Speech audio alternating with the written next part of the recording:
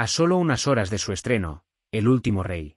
El Hijo del Pueblo promete ser una de las bioseries más controversiales en la historia, pues después de dos días en los que la dinastía Fernández trató de frenar su transmisión a nivel nacional, Televisa Univisión mantiene su postura. Ahora, Olga Bornat, autora del libro en que se basa la serie, lamentó que se intente censurar su proyecto periodístico pues se juega con la libertad de expresión. A través de un comunicado en su cuenta oficial de Instagram, la periodista argentina rompió el silencio sobre lo que pasa con la serie no autorizada por la familia de Vicente Fernández. Apoyando a la televisora de San Ángel y asegurando que todo se trató de realizar con respeto y admiración al cantante, condenó los juicios de valor que se han emitido a la ligera, y que tratan de manchar su credibilidad como escritora.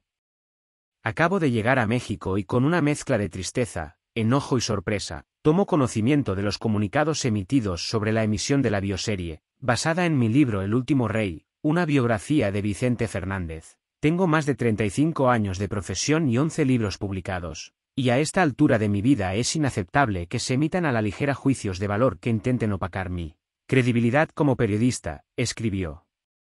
Olga Bornat continuó mencionando que a pesar de que todo lo realizó con mucho respeto, pues su madre amaba la música ranchera, lamenta la serie de comunicados y acciones jurídicas que dañan gravemente la libertad de expresión, por lo que le parece inadmisible el intento de censura que la familia Fernández trata de realizar. Aparentemente mi libro y la bioserie han detonado una serie de comunicados y acciones jurídicas que, de prevalecer, dañarían gravemente la libertad de expresión, y que debería ser sagrada en una sociedad plural y democrática, y que debería estar fuera de todo debate banal de marcas o derechos. Me resulta inadmisible lo que está sucediendo y lo siento como un burdo intento de censura previa, expresó. El comunicado, personal, que agregó que existen intereses oscuros, tras los ataques a la bioserie que está inspirada en su también controversial libro, así como su opinión sobre los derechos que los mexicanos tenemos a poder saber la historia del charro de Huentitán. Finalizó con lo que seguidores del cantante han considerado un primer adelanto de lo que Vicente Fernández Jr. y su familia estarían por realizar. Finalmente, confieso que me llamó la atención la presencia de un célebre abogado penalista, defensor de personajes políticos controvertidos.